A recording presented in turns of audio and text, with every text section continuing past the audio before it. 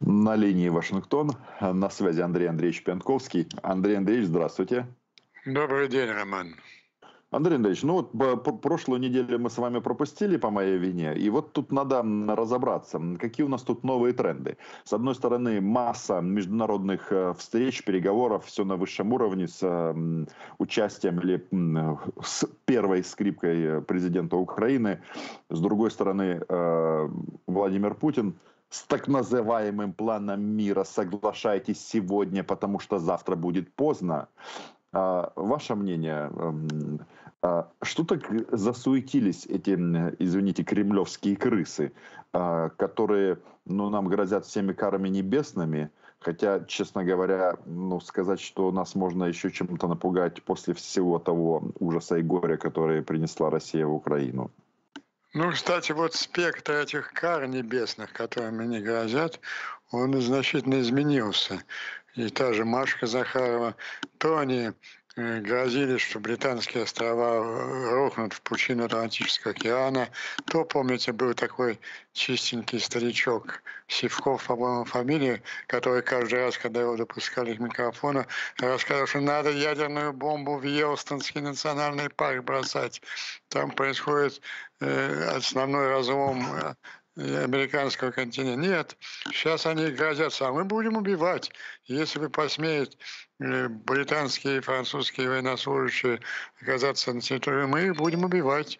Ну, слушайте, люди при... там воевать приедут для того, чтобы вас убивать и, и самим, может быть, погибнуть в борьбе. Это война.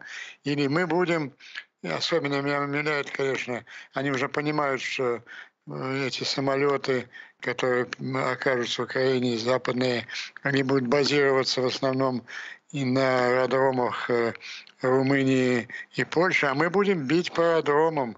Ну так, миленькие мои, этого мы все и хотим, это и ждет.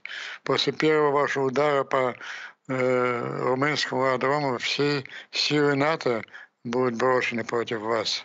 Андрей Андреевич, э, тут э, в этом отношении э, я хотел спросить, не боитесь ли вы один российский корабль и подводную лодку, которые причалили к кубинским берегам? Это тут позиционируют, ну тут в смысле в России позиционируют как просто какой-то но вот эта вот рука, которая тянется к да, горлу. Ну, это скорее поведение, есть такие больные люди, которые вот на улице член вынимают из ширинки. Вот э, мы видели кучу этих членов, э, медленно откуда-то поднимается ствол Искандера, нам показывают, это все абсолютно, абсолютно пустое. Он, он, он, превратился в посмешище своим, своим ядерным шантажом. Об этом прямо говорят и генеральный секретарь НАТО, и премьер-министр Латвии, на обсуждение в парламенте закона, который позволяет латвийским военнослужащим отправляться на войну в Украине. Одними словами они смеются. Да он к нам каждую неделю собирается что-то, кого-то уничтожить ядерным оружием. Но самое главное, вот мы с вами успели передвинуться перед эфиром, мы тоже заметили некоторые изменения настроения пропагандистской все эти шушера. У них, у них паника. Они, э, в общем, это началось после двухходовочки Макрона, когда, во-первых, он сказал, что он собирается посылать французские войска в, в Украину, и что э, целью Франции и ее ближайших союзников является нанесение безоговорочного поражения России. России. Путин стандартно так решил попугать ядерным оружием и нарвался на второй ход.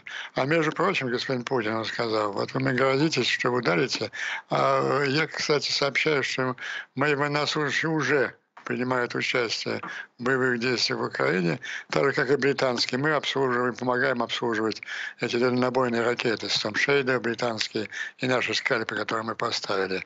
Вот. А, кстати, насчет ядерных ударов, я просто напоминаю вам, что Франция тоже ядерная держава. Но вообще это вызвало шок российской пропагандистской кухне. Ну, Z-патриоты не понимают, не понимают, почему Франция до сих пор не уничтожена ядерными ударами. А почему мы не нанесли, ну хорошо, пусть не ядерными, почему мы не нанесли еще удар э, нашим конвенциональным оружием, у которого э, теми вопросами, которые нет аналогов в мире и так далее. Э, в очень тяжелом положении оказался Путин перед своей самой, так сказать, своей вот этими 10-15% населения, по моим подсчетам, которые являются Z-патриотами такими. Они не понимают своего фюрера, не понимают. И, собственно, они у него требуют за базар ответить. Они выросли, они, вот это люди убеждены были, что вот-вот начнем ядерные бомбы кидать. Вот пришел момент, кидай, а что же, а что делает Путин? А он вызывает э, сумасшедшего Караганова, который э, ведет с ним беседу и изображает при Караганове такого мудрого, сдержанного государственного деятеля, который говорит, да, конечно, ядерное оружие это у нас есть, но нет для этого никаких оснований. Мы же не проигрываем войну, мы выигрываем ее. У нас нет оснований принимать ядерное. Это для кого рассчитано? Это не на Запад рассчитано было. За Запад он как хотел пугать, так и продолжает пугать. Пугалки вот с этой с дурацкой посылкой подводной лодки. Это к своей аудитории. Он должен объяснить, объяснить своим, патриотам, рвущимся э, крику уничтожить их, раздавить, э, превратить э, в пепел. Э, Радиоактивный. Да, пусть все сдохнут там и в рай. Нет, он объясняет, нет. Это не, не все нормально идет. Мы, выигрываем конвенциональную войну. А мы помним, Путин-то сам знает, что он сам, я тысячный раз э, повторяю, меня за это опять будут критиковать, его знаменитое признание – на пресс-конференции с Макроном последний, по-моему, 6 февраля 22 года, за две недели до начала крупномасштабной войны. Он был в полной эйфории, только что вернулся из Пекина, где товарищ Си подтолкнул его к этой авантюре, исходя из своих мотивов. Вот. Он уже видел себя через неделю властелином мира. И он тогда сказал, да, да, да, мы понимаем, что мы говно, что мы уступаем в конвенциональном оружии, но мы готовы, у нас там ядерный супер-пупер и так далее. Вот. А помните, на, через несколько дней после того, как Макрон э, его опустил с этим ядерным шантажом, была такая сценка, помните, где-то он за спинами военнослужащих э, летчиков, летчиков. Да, да, да, да, вещал. Да мы что? Мы никто же, мы же дерьмо. У нас весь военный бюджет, там 100 миллиардов долларов, в одной Америке там триллион. Ну как мы можем тягаться с НАТО? Что вы? Он был в шоке тогда. Но сейчас немножко, немножко, немножко пришел в себя и решил заняться делом. Он понял, что вот эту войну, которую он задумал, ну, помните ультиматум 20-30 э, странам НАТО, собирайте манатки, убирайтесь вон. Эту войну он проиграл, проиграл, потому что Э, Макрон обнулил его основной инструмент – ядерный шантаж. А теперь у него встала другая задача. Кстати, если бы он был настоящим шахидом, то, конечно, на такие гнусные оскорбления Макрона он ответил бы ядерным ударом. Но какой же он шахид? Он занимается э, сейчас Э, смотрите, чем он занимался, кроме вот этой беседы с Карагановым на книжном форуме. Там, там вся российская элита занималась передачей своего громадного богатства и власти по наследству, по наследству. Детишки Ковальчуков, детишки Патрушева получили большие посты, власти, деньги. И, и женщина номер один, и женщина номер два тоже продвигались. Женщина номер один вообще миллиардерша стала. Она же у нас занимается, можно она занимается проблемами бессмертия. Ведь это давно известно. Это кто, простите? Андрей, женщина, женщина, женщина. Екатерина, ну как, вы не помните, как Путин на своей дочери называет женщину номер один, женщину номер два. Екатерина ага. Тихонова миллиарды, миллиарды долларов уже 10 лет тратятся на какие-то институты бессмертия лично для Путина. А сейчас все эти миллиарды положены под под руководством, под директорством Екатерины Тихоновой. Очень обыденными делами заняты эти шахиды. Кенни к шахиды. Сейчас у него другая задача. Он понял, что войну он проиграл, ту войну, которую он объявил своему народу победу над Западом в Четвертой мировой войне, как и Иван за поражение в Третьей холодной. Теперь его задача другая – остаться у власти в потерпевшей поражение стране. И остаться у власти – это значит остаться в живых. Если его... Поэтому сейчас его, вся его стратегия направлена на том, чтобы достигнуть какого-то Э, перемирие, перестановки, остановки огня и продать этому своему населению как, ну, по крайней мере, почетную ничью. Ну вот, э, ну, с этим... Э, Андрей Ильич, да, тогда да. возникает вопрос – ничья, но в пятницу прошлую, как же он высказался, а, отдайте просто, отдайте нам четыре области, плюс автономную республику Крым, ну и дальше его хотелки. Так, так слушай, он, подор... он очень неудачное выступление. Он подорвал всю игру всей своей агентуры. На Западе же полно Э, у нас здесь в Вашингтоне и полезных буржуазных идиотов, и прямых его агентов, которые давно уже предлагали, вот, смотрите, как ужасно гибнут люди, нужно остановиться, прекращение огня на линии соприкосновения сторон и вести переговоров. Ну вот он, а он им просто подробил всех позиций, потому что, как вы правильно заметили, он выступил с беспрецедентным в истории мировых войн мирным предложением. Сказал, я вот убил у вас уже э, десятки, а может быть сотни тысяч людей, разрушая ваши города. Но мне никак не удалось взять два важных города – Запорожье и Херсон. Так вот, пожалуйста, выведите-ка, быстренько, быстренько, выведите еще украинские войска из Запорожья и Херсона, пустите меня туда, и тогда, значит, я, может быть, э, э, соглашусь на прекращение огня. Ну, это бред сумасшедшего. То есть он достаточно адекватен, чтобы понять, что его ядерный шантаж провалился, и нужно искать какое-то перемирие, которое он продаст как ничью, но он абсолютно неадекватен относительно реального положения дела на фронте и э, какой, какой, о каком перемирии может идти речь. Андрей Андреевич, ну тогда возникает вопрос, а зачем тогда он это э, все озвучивал? Ну, то есть есть мнение, что типа э, вот моя, моя переговорная позиция такая, ну давайте тогда договорим посередине, по линии фронта. Э, может быть, вот в этом смысл? И вот в продолжение, как э, ну, Штаты реагируют на это? Штаты замечательно реагируют. В отличие от вот реакции в течение э, двух лет войны. Я сказал, он подорвал позиции вот этой пророссийской партии внутри Соединенных Штатов. Штаты реагируют, ну, не так, как Франция, но Штаты реагируют правильно. Вот э,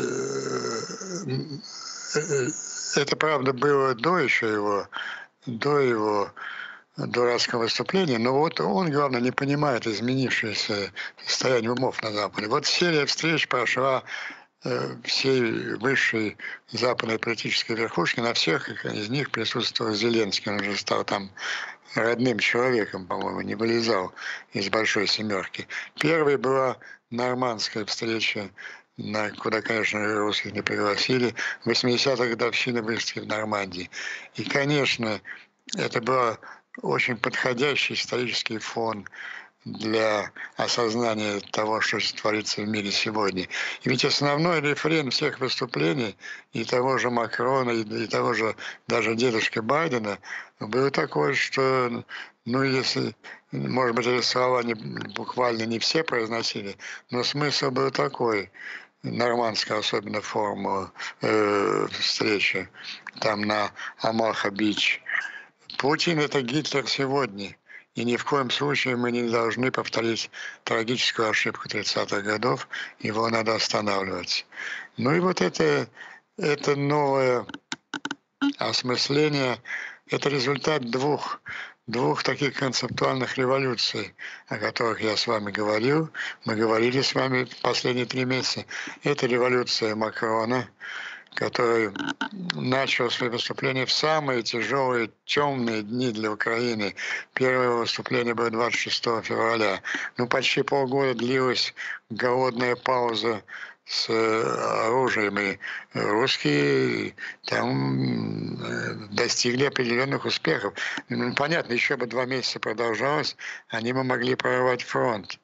И вот Макрон предложил выступил против с резкой критикой Соединенных Штатов, что они придумывают вот эти красные линии ограничения. Это немыслимая слабость, он восклицал, накладывать на себя ограничения, когда имеешь дело с противником, который ни в чем себя не ограничивает. Вот тогда он заявил, что и потом давайте все-таки провозгласим цели, что мы хотим в Украине. Вот Франция, и он сказал интересную фразу, не все наши союзники, но целый ряд наших ближайших союзников, мы хотим э, нанести безоговорочное поражение России. Я готов послать для этой цели французские войска. Ну и вот потом прошла эта двухходовочка с Путиным, когда он сообщил, что французские военнослужащие уже там.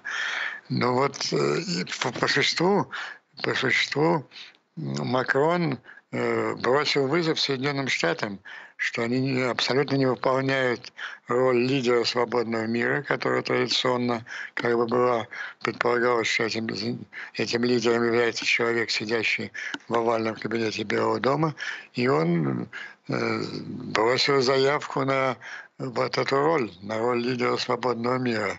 И очень позитивный был а, результат в Соединенных Штатах. Ответил ему, я думаю, этим он вызвал революцию Рейгановского крыла республиканской партии, которая, во-первых, разобралась своими трампистами в Палате представителей и провело, наконец, закон о военной помощи. А кроме того, они выступили с резкой критикой недостаточной поддержки Украины администрации Байдена. Возглавили эти три замечательных лидера комитетов. Я, мы с вами заметили этих людей еще в январе этого года, когда они опубликовали свой замечательный доклад э, «Путь к победе в Украине». Это, с удовольствием напомню этих трех мушкетеров. Председатель комитета по иностранным делам Маккол, председатель комитета по, э, по обороне Роджера, председатель комитета по разведке Тернер. И мы помним великолепную сцену, я ее во всех своих э, пабликах воспроизвел, когда, когда Бако явился с картой Украины на заседание палаты и обрушился на Блинкина несчастного и на администрацию в целом. Просто он показывал, вот Белгород, над которым поднимаются российские самолеты на территории Российской Федерации, и оттуда направляют свои глубинные эти планирующие бомбы, самые страшные и разрушительные на живых кварталах Харькова. Из-за вашей идиотской политики, господин президент, мы, Украина не может сбивать, атаковать эти самолеты. Все заставили перейти, вот эта революция, она очень важным результатом привела.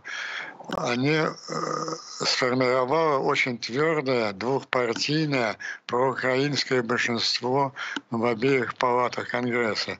80 против 20 в Сенате и примерно там 370 на 60 в Палате представителей. И, кстати, это большинство, оно не изменится и после выборов. Примерно те же люди э, будут избраны. И это большинство, оно очень резко критикует Байдена за недостаточную поддержку и заставило, заставило дедушку Байдена отказаться от целого ряда вот этих своих последних красных линий.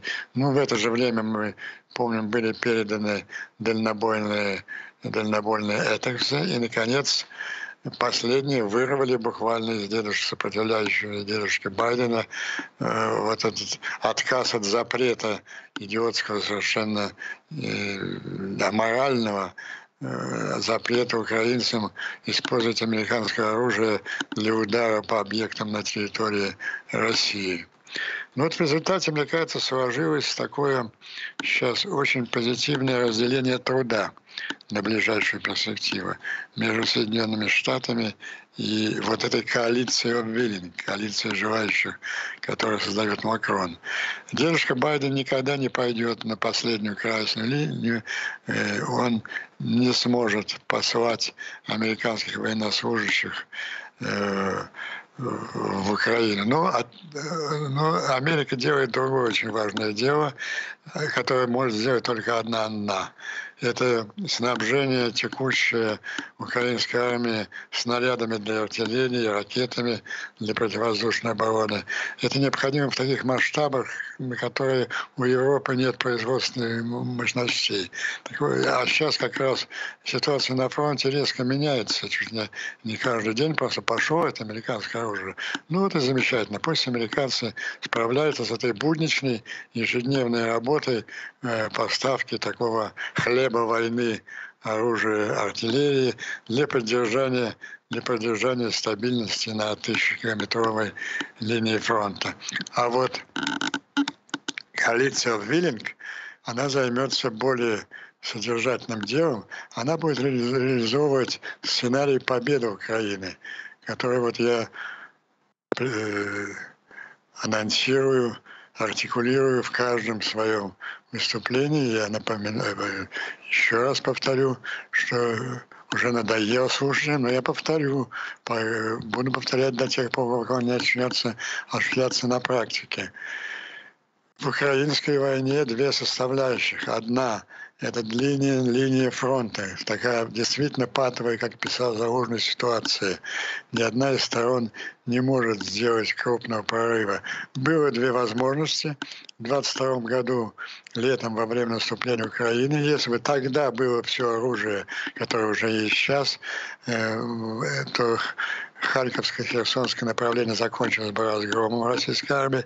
И была обратная возможность у русских несколько месяцев назад, если бы не эти революции Макрона или рейганских республиканцев и блокада, трампийская блокада э, оружием, э, оружейная блокада Украины продолжалась, русские могли бы прорвать фронт. Теперь это захлопнулось навсегда. Но есть вторая составляющая, вторая составляющая, уязвимое место русской вооруженной машины это Крымский полуостров. Даже в самые тяжелые месяцы вот этого оружейного голода Украина добивалась там превосходства. Мы выбросили Черноморский флот из Черного моря, он же Черноморский, ну, может считать, и уже, на... и уже не да. флот, а флотилия. И уже, уже не флот, да. И э, методично уничтожаем там авиацию. Так вот, ключ к победе – это 100-200 западных современных самолетов. Не обязательно F-16. Макрон нам обещает миражи, а будут и не только миражи, а будут и э, английские, британские тайфуны, и, и шведские, и шведские риппены. Вопрос идет о преодолении последней, самой нелепой и дурацкой красной линии, которая э, казалась такой романтичной, даже и не воспринималась как э, какое-то ограничение. Но мы же э, два года ждем, как что замечательные украинские пилоты пройдут обучение, вот они и вернутся в небо родной Украины за штурвалами западных самолетов. Ну, во-первых, выяснилось, что это обучение довольно длительное. Ну, максимум их будет, ну, по оценкам, которые до нас доносятся, примерно 40 украинских пилотов э, прошли такое обучение. Но дело же в том, что нужны не отдельные пилоты в отдельных самолетах. Нужны слаженные, слаженные боевые подразделения. Ведь на одного пилота приходится еще несколько человек, техников, механиков, диспетчеров, людей, обслуживающих, обслуживающих аэропорты. Э, хорошо, конечно, что будет участвовать украинский пилот, это символично, замечательно, но исход войны могут решить 100-200 западных самолетов, в большинстве, которые должны что-то драковалять. Нужно просто послать действующие боевые подразделения французских военно-воздушных сил, э, британских военно-воздушных сил и шведских военно-воздушных сил. Они готовы к этому. Вот давайте посмотрим на заявление, которое каждый день делает Макрон в последние дни, ну, включая вот те э, международные саммиты, о которых мы говорили. Он говорит, во-первых, я, пошлю, я собираюсь послать Францию «Миражи». Во-вторых, он повторяет, я собираюсь послать Францию э, французских технических военных специалистов. Это он говорит через запятую. Давайте я перейду с французского на русский вот эти два предложения, объединю их в одно. Я собираюсь послать французские военные самолеты с французскими военными летчиками за их штурвалами. Вот это шаг последний, решающий, которым уже, собственно, является логическим продвижением всей этой доктрины Макрона, всего того. Алло, алло, Андрей да. Андреевич. Так, мы, вы потеряли меня, да? Алло, да-да-да. Я, я, я, я, я здесь. Что последнее было слышно в эфире? Что вот э, там э, вы говорили Э, все было слышно, вы говорили о том, что то у меня тут были какие-то нюансы. Вы говорили о том, что французские самолеты готовы лететь. Да, вот это э, коалиция, коалиция желающих готова именно на этот шаг. Но очевиден, это сценарий победы, который лежит, лежит на поверхности. И главное, вы посмотрите внимание на всю риторику Москвы. Она уже смирилась с этим сценарием, ведь все угрозы, я уже об этом говорил, они касаются этих самолетов. Да, мы будем сбивать, мы будем уничтожать французских, британских летчиков, мы будем там э, трупы отсылать э, в Париж, вдовы пойдут на демонстрациях Макрону, мы будем наносить удары по аэродромам в Румынии и Польше, все это замечательно. Они уже смирились с тем, что ядерное оружие они применять не будут. Он, почему Путин специально снижает вот этот уровень угрозы ядерной, потому что ему надо объясняться, э, он бы с удовольствием пугал Запад, он и продолжает еще пугать параллельно, но ему возникает проблема своим Z-патриотическим быдом, что Z-патриотическое быдо недовольно, оно задает вопросы, почему, почему мы не, не используем ядерное оружие. Вот он и, и, на, и, и изображает этот, этот спектакль с Карагановым устроен именно для собственного быдова он их успокаивал, что да, нет, Путин говорит, нет необходимости, нет, нет, нет. Мы, мы, мы на национальном уровне одержим победу. Ну вот пусть он им объяснит то же самое, когда западные самолеты появятся в воздухе. Андрей Андреевич, я хочу вас спросить еще по поводу саммита мира. Как ни странно, но российская пропаганда объявила российскую победу. Они так и заявляют, что мы растоптали Запад, а, э, геостратегическое поражение нанесли западной коалиции вместе с Китаем. А, ну вот тут особенно мне нравится вот это вот э, уточнение, что вместе с Китаем, оказывается, они вместе с Китаем все это делают. Но и в целом вот э, как, я убежден, что саммит мира прошел успешно, потому что, да, там, конечно же, слова и декларации, но за словами и декларациями идут, э, нет, не идут, а летят самолеты. Собственно, то, что вы и сказали. Кстати, декларация. Вот, э, ведь не случайно э, Украина и Швейцария как организатор подчеркивали, что на на этом саммите будет рассматриваться прежде всего три из десяти пунктов Зеленского. Три – это энергетическая безопасность, прежде всего ситуация вокруг э, Запорожской атомной станции, продовольственная безопасность, это и судоходство, э, свободное судоходство в Черном море, и третье – это гуманитарные вопросы, связанные с, прежде всего, преступлением России по похищению детей и необходимость обмена пленных э, по формуле «все на всех». Так вот, я внимательно прочел декларацию. Восемь стран мира подписали вот по этим трем пунктам, ну это абсолютно стопроцентная поддержка Украины, даже не поддержка, все выражено самыми жесткими украинскими форумами. Что касается общей идеологии, то э, в преамбуле декларации провозглашается принцип территориальной, территориальной целостности Украины. Ну, можно долго радоваться тому, что там э, Китай не, не, не участвовал. И там Ирак и Иордания в последнее время, момент сняли свою подпись. Но если говорить о подписантах, я бы обратил внимание на интересную вещь. Декларацию подписали все члены НАТО. Турция, Венгрия, Словакия, еще большой друг России, Сербия, между прочим, тоже ведущая переговоров вступления в вот где крупнейшее поражение России. Это все, все, на кого она опирается. То есть вот эти страны, несмотря на свои особые позиции, иногда на некий флирт с Москвой, они очень ценят свое членство в НАТО.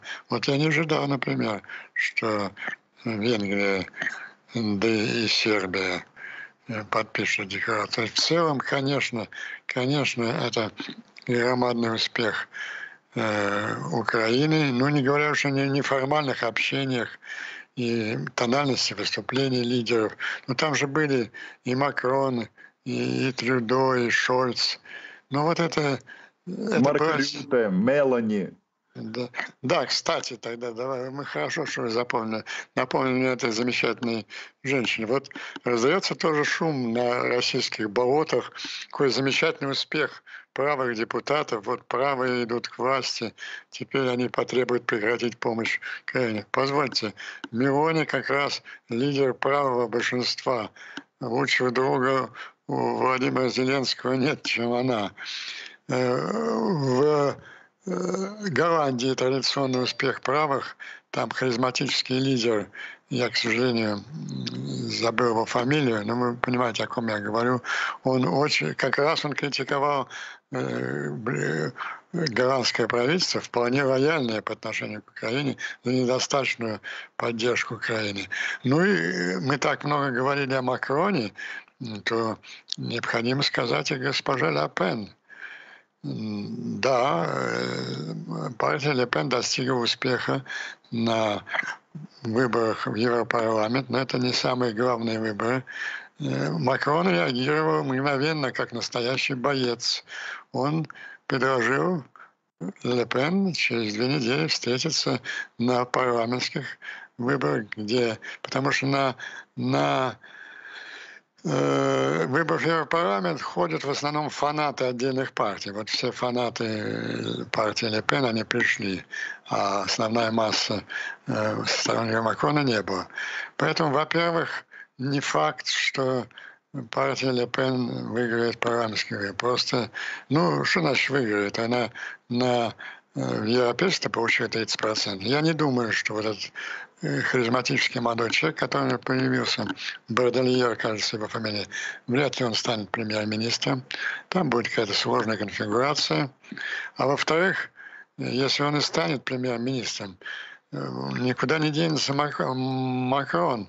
Он по Конституции Франции вопросы, как раз вопросы обороны и иностранной политики, это, это, это функция президента. Ну и, наконец, самое, самое приятное на закуску.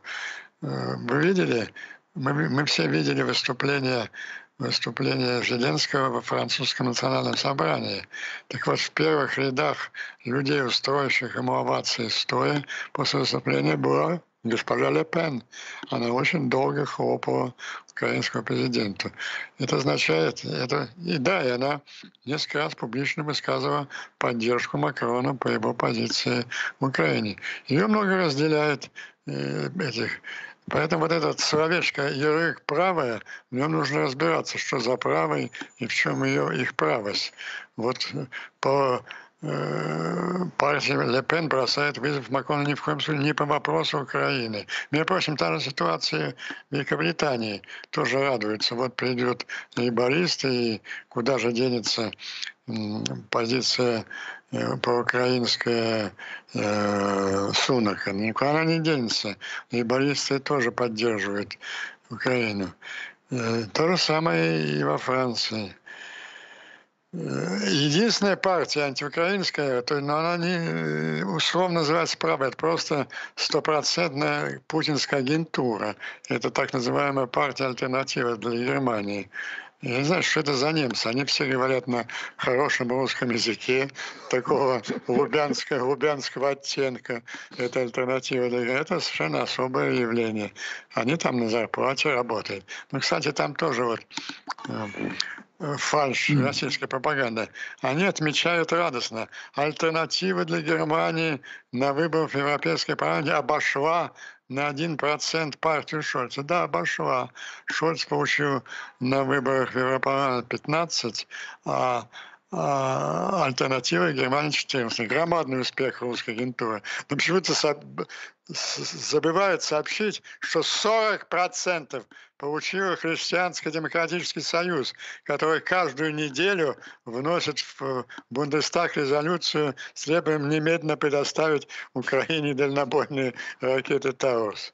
Так что никакого...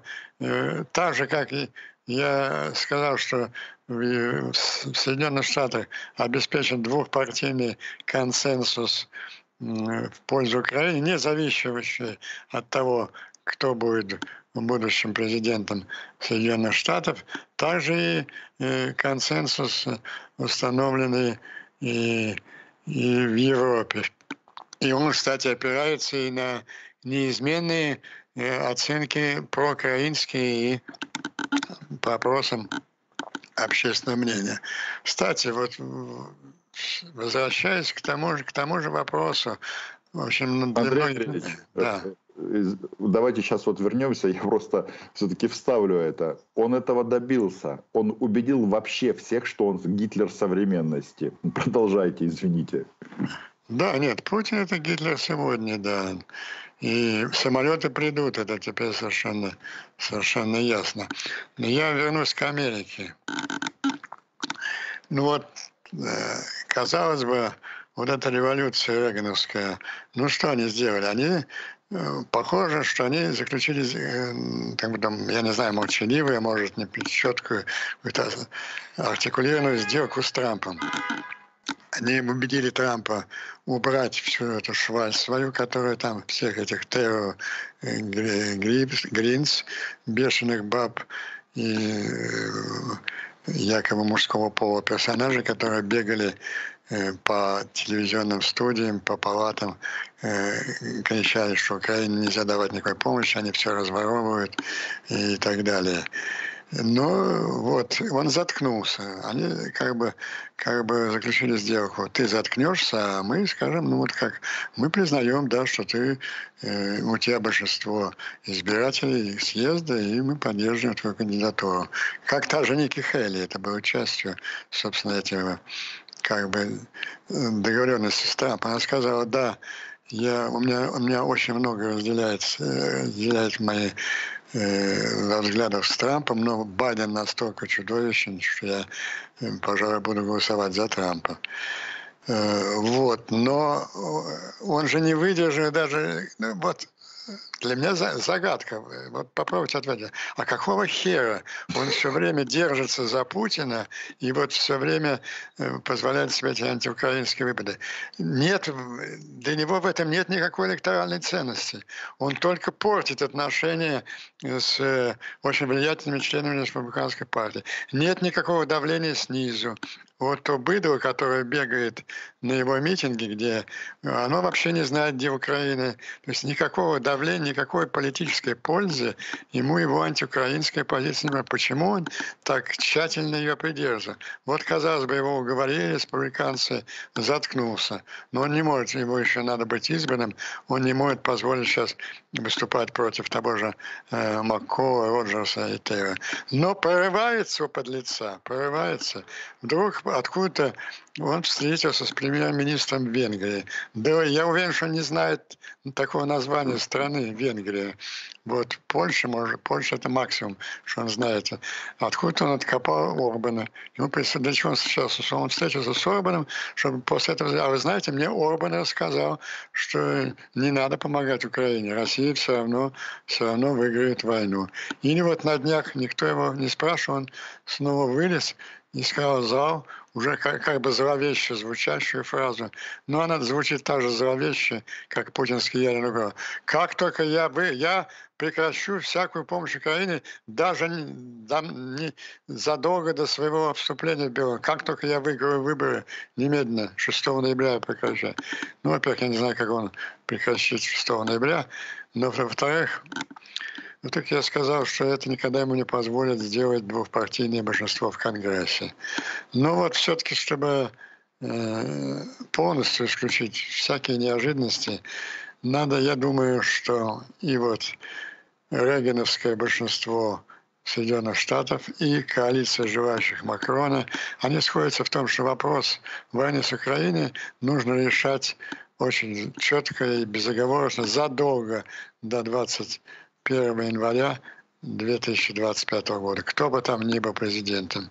Я вообще, между прочим, я повторю свою точку зрения. Я не уверен вообще, что... Э, я не могу сейчас вот сто процентов сказать, что в бюллетене для голосования будет два человека, Байден и, и Трамп. Может, и на войну. Я с большим интересом жду э, дебатов этих двух титанов. Э, это вообще беспрецедентно. Дебаты кандидатов в президента в в июне месяце. Обычно это происходит в сентябре-октябре, когда кандидаты уже утверждены съездами партии. Но я думаю, что на американцев произведет это большое впечатление.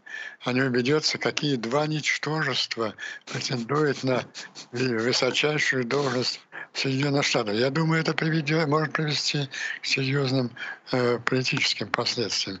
Но в любом случае, будущие историки отметят выборы 24 года, как, конечно, как, конечно, феноменальные, когда два человека, ну, в наименьшей степени подготовленные к тому, чтобы быть лидерами свободного мира, причем в какой момент, когда все эти тоталитарные режимы России, Иран – Китай, они объявили как бы войну в той или иной степени цивилизованного мира, требуется э, решительный лидер свободного мира, и Америка выбирает между этими двумя, ну, я не знаю, как, очень сомнительными персонажами.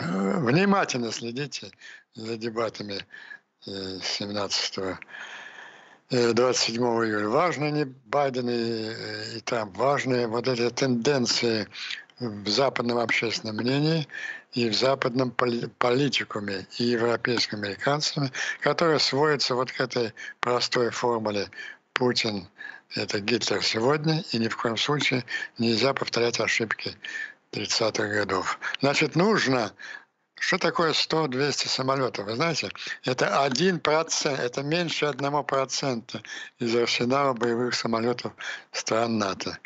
Вот эти самолеты, конечно, будут выделены для того, чтобы решить эту проблему нового Гитлера. Андрей Андреевич, да, я вот вернусь к своему вопросу. Э, вот действительно очень забавно начали звучать. Ну, во-первых, пропаганда поет оды китайскому руководству, китайской пятитысячной или шеститысячной, семитысячной истории. И вот всегда они э, добавляют, мы и Китай всех переиграли. А откуда вот это вот э, чувство какого-то, не знаю, втор второсортности появилось в, э, в Российской Федерации? Да это очень простой комплекс. Был такой, я же человек старый, я Петрович Сталин еще жил. Я помню, когда мы были пионерами, был такой албан, албанский вождь Энвер Ходжа. Вот он прославился, очень понравился в Кремле, потому что он каждый день повторял, нас с Советским Союзом 201 миллион. Так, по-моему, вот то, что делает сейчас российское руководство вся политическая элита, она все время повторяет, нас с Великим Китаем это полтора миллиарда человек. Вот это единственное, чем осталось им гордиться. Ну, повторял же Путин вот на этом самом странной встрече за спинами военнослужащих, что мы говно, мы, я вообще тут, э, как же я его определил, э, сморчок под пледиком. Он Андрей, был это, да. Андрей Мы никто. Ну... Вот у них и осталось единственное, что нас с Великим Китаем полтора миллиона человек. Ну, Китай согласен с тем, что он переварит эти 140 миллионов человек. Он их и переваривает. Но вот если вернуться к саммиту мира, отдельная позиция. Ван И в Нижнем Новгороде вообще заявил, что мы будем делать свою, а, более статусную, более правильную конференцию миру, мирную по Украине. А, вот, ну, понятно, что в этой войне китайс, китайские наши друзья, они просто соревнуются с американцами, и их судьба особо нас, э, наша судьба, мне так кажется, не сильно-то интересует, если вот так вот честно сказать. Нет, она интересует. Э, их Россия интересует как пища, понимаете? Они уже знают, что Это Россия, понятно. Россия а вот... потерпела поражение. И вот у них, понимаете, если вы позволите, по Китаю, у них э, две задачи надо себе решать. Во-первых, им нельзя так резко порвать с американцами. Ну вот этот двухгодичный опыт противостояния показал, что без американских инвестиций, американских технологий все это китайское чудо, оно сваливается. А с другой стороны, им, и поэтому они не будут э, прямых поставок оружия, ну, как-то будут маневрировать. Но полностью оттолкнуть Москву им невыгодно сейчас, потому что э, Москва же на крючке, она идет каждый день. Путин предпринимает шаги, все более подчиняющие Россию, особенно ее дальневосточную, да и всю Сибирь, э, влиянию и власти Пекина. Путин, он ведет, так сказать, предпродажную подготовку России. Ну, после поражения э, Китай это все а, оформит административно и юридически. Россия сейчас ложится уже в состав Китая. И вот сейчас, ну, мы же смотрим с вами, этих самых российских пропагандонов. Пропагандонов часто выскакивает. А вот Китай, Китай почему нас не поддерживает? Да вообще китайцы, они нас поглотят, они нам, может быть, еще хуже. Он понимает, что эти, эти наш настроение нельзя подогревать. Сейчас резко оттолкнуть Путина, значит, вот сорвать с крючка в последний момент. А так уже Китаю ничего не надо будет делать, переворачивать Россию. Она себя сама к дню своему поражению, она сама уже полностью растворится в Китайском океане. И нельзя мешать этому процессу. Вот я думаю, вот э, эти два мотива и движут китайцами. Так, э, давайте вопрос, который просится сам э, собой на плюсы и минусы от Украино-китайской границы, перенесем на следующий стрим. Андрей Андреевич, я благодарю вас за ваши мысли и за оптимизм. Ну, а украинской дипломатии нужно думать и о своих отношениях с будущим тесным соседом. Далеко надо вперед смотреть. Хотя я думаю, что не так уж и далеко. Вот появятся первые сотни самолетов, и другие разговоры пойдут, другие разговоры. Да, вот я последнее хочу поделиться э, с вами. На меня большое впечатление произвела вот аудитория. Вот я смотрел всю эту пленку с Путиным. Мне не важно, я не, не внимательно слушал, что он там читал по листочкам. Я смотрел на аудиторию. Я рекомендую посмотреть. У них у всех были одинаковые лица. Такие опущенные, бесстрастные, такие совершенно э, скептические, отчужденные. Они понимали, они, да, они соблюдали лояльность, но они уже не верили одному слову оратора. И меня сначала я подумал, а где же я все это видел? А потом вспомнил. Да, гитлеровская кинохроника. Но кинохроника уже весны 45 -го года. Потом я даже нашел эту пленочку. Геббельс выступает перед берлинским партийным активом в марте 45 -го года. Вот такие же, такими же рожами перед ним сидел Э, берлинский партийный актив, как и российский МИД сидел перед Путиным. Смотрите, вот если вы хотите ответить на вопрос о состоянии умов в Москве и скоро ли они займутся крысенком, внимательно наблюдайте за выражением лиц на всех официальных съемках и роликах Путина. Оно очень показательно. Я даже добавлю, Андрей Андреевич, что э, вечно танцующая Захарова в этом зале сидела с ощущением, с таким выражением лица, как будто ей дали закусить исключительно каким-то тухлым лимоном. И это было показательно на самом деле. Ох, какой молодец, а я даже ее не заметил. А у вас не сохранилось ее кадрик? Сохранился. Да. Я вам пришлю. Сбросьте мне обязательно, да. Да, как же без Захарова. Замечательно просто. Замечательно. Андрей Андреевич, я благодарю вас. А, друзья, не забудьте подписаться на наши YouTube-каналы Андрея Андреевича Пентковского, 24 канал, ну и мой канал с поэтическим названием «Роман Самбалюк». Андрей Андреевич, до скорых встреч. До скорых встреч. Спасибо, Роман.